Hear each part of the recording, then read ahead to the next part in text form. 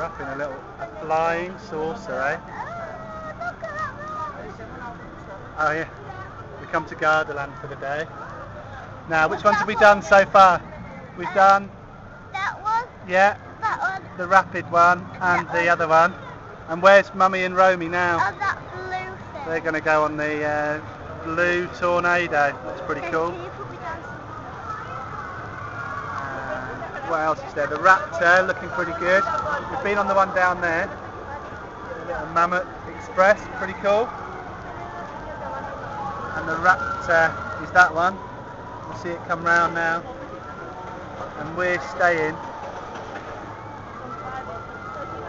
Not quite sure if you can see it. We're, we're just in the corner over towards the where the lake goes into Peschiera. See what happens to go. Back round to the lake. Daddy, I want to do that. That one over there. Which one do you want to do? The